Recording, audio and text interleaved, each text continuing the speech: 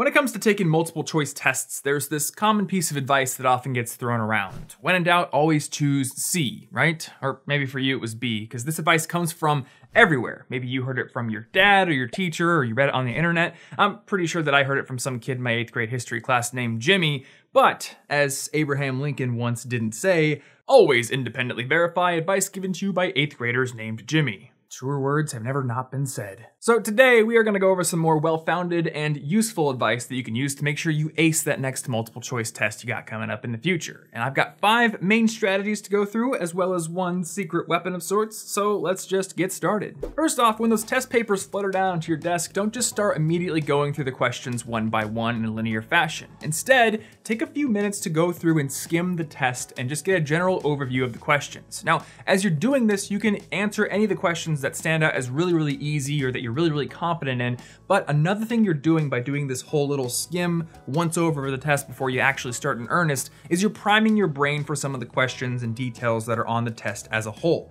And this can be really, really useful for a couple of different reasons. One, you're priming your brain to start thinking about some of the harder questions, and we're gonna get to that in a minute. But number two, Sometimes multiple choice tests will have questions that hold details and hints, or sometimes outright full answers to other questions on the test. For example, say you're taking a history test one day and you come across a question like this. Which American president's death caused Napoleon to order 10 days of mourning in France? Now, as you're going over the answers, you can eliminate one of them right off the bat, but the other ones, Thomas Jefferson, John Adams, George Washington, you don't know which of the three is the correct answer. So maybe you skip it, you go on into the test, and then later you come across a question like true or false. Even though Thomas Jefferson and John Adams were bitter political rivals during the heyday of their careers, they eventually regained their their friendship and kept it until both of their deaths in 1826. Now, that question just established that Thomas Jefferson and John Adams both died in 1826, and say that you knew from some other source that Napoleon himself had died in 1821.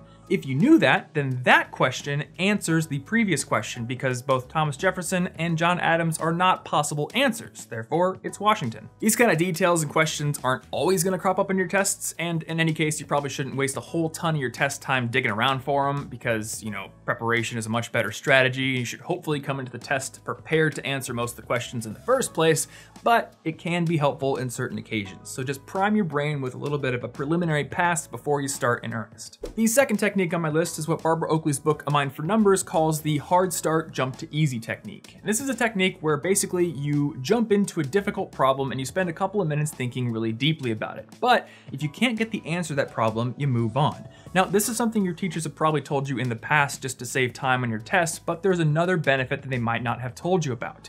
If you spend some time thinking about a hard problem, you're engaging your brain's focused mode. And I know this focused and diffused dichotomy is something I talk about a lot in these videos, but it's really, really important. So while you're using focus mode, you are concentrating on the problem and you're using your conscious resources to try to solve it. But once you jump into a different problem, your subconscious resources and the more distributed parts of your brain work on that difficult problem in the background. And then when you go back to the problem a little bit later, you probably have a better chance of answering it. Oh, and my apologies to Dr. Oakley, but we have got to get a better name than hard start jump to easy technique. So I'm gonna go ahead and recoin it the Tiny the Tiger technique, because it's like that one boss battle in Crash Warped where you spend some time fighting the boss and then you switch over to avoiding these tigers and go back and forth from there. Tip number three is to make sure that you read each question on your exam twice. Doing this is really, really important because multiple choice questions can be tricky, and because they have a limited number of answers, and those answers are just written out for you, it can be really tempting to simply skim over the question very quickly and then go to the answer that looks most familiar. But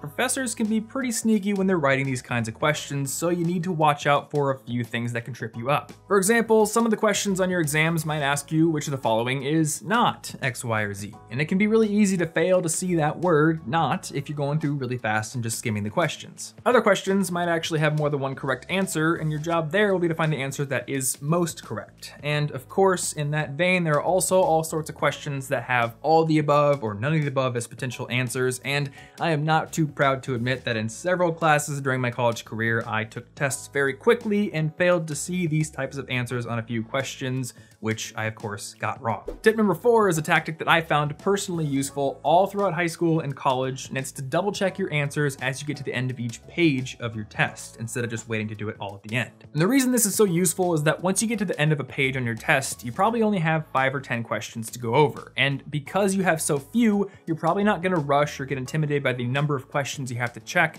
and that's gonna decrease the likelihood that you'll skip over a dumb mistake or something that just should glaringly stick out, and that's gonna increase your scores. Now this is not a replacement for giving your test a good once over once you've finished it, and I definitely think you should be budgeting time at the outset of the test to do that. But by adding this technique into your test taking arsenal, you can increase your scores even more. All right, let's move on to tip number five here. So if you come across a question that you just can't get the answer to, or maybe you feel like the answer is on the tip of your tongue, but you just can't quite get it, try to envision yourself in the room in which you learned that piece of information. Maybe it was your classroom, maybe it was your normal study spot, but either way, science has shown that if you can envision the area where you learned something, it activates something called context dependent memory. Basically, humans are more able to remember things when they're in the context or location in which they learned them.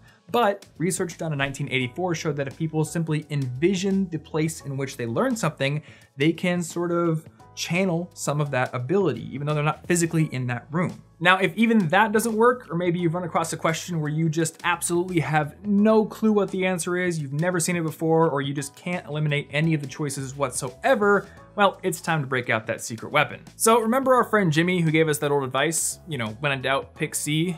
Well, yeah, Jimmy was wrong. But that's okay because instead of following some dumb rule or just randomly guessing, you can actually use statistics to exploit the way in which human beings typically write multiple choice tests. And that's because, as the author William Poundstone points out in his book Rock Breaks Scissors, humans are pretty bad at creating actual random distributions of answers. During his research, Poundstone collected over 100 multiple choice tests from all sorts of different sources. Schools, colleges, driver's exams, online quizzes, you name it, he got it and that totaled over 2,400 questions. And what he learned from doing statistical analysis on all those questions was pretty surprising. First off, he did discover biases for individual letter answers, but those biases changed based on how many answers were available on the question. For three answer questions, you know, A, B, C, there was no bias. And for four answer questions, the bias turned out to be B, not C, though it was a very statistically small advantage, 28% versus the expected 25%.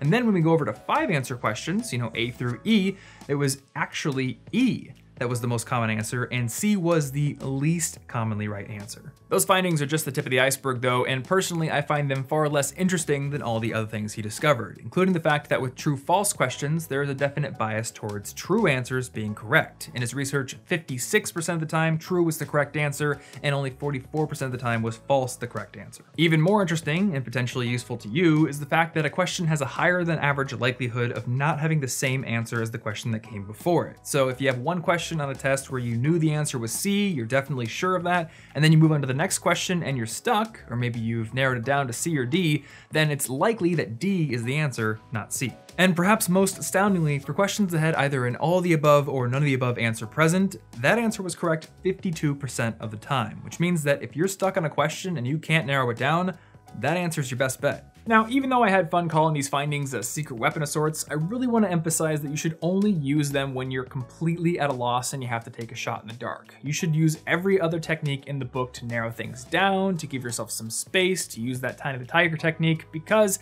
at the end of the day, all you're doing is exploiting the way that people write tests. You're not actually learning anything, and you're not actually using your mental faculties to work with the actual information and content of the exam. Anyway, beyond all the tips in this video, the most important aspect to your success on any multiple choice test or any kind of test at all is preparation. And if you wanna learn how to prepare for your tests more effectively, I actually just put together a resource on my website called The Ultimate Guide to Acing Your Final Exams. And it collects everything that I've ever made related to exams. So if you haven't seen all those videos or you're looking for a specific tip, you might wanna check it out. And you can find it on the card on the screen right now or in the description down below. Beyond that, if you enjoyed this video, you can give it a like to support this channel. It's much appreciated. And if you have additional tips on acing your multiple choice tests that I didn't talk about right here, I would love to hear from you down in the comments below. If you wanna subscribe to this channel and get new videos on being a more effective student every single week, you can click right there. And you can also click right there if you wanna get a free copy of my book on earning better grades. Now, the recommended video this week is actually something related to this because it's about a technique called confidence tracking that can help you even further increase your scores on multiple choice tests, so check it out.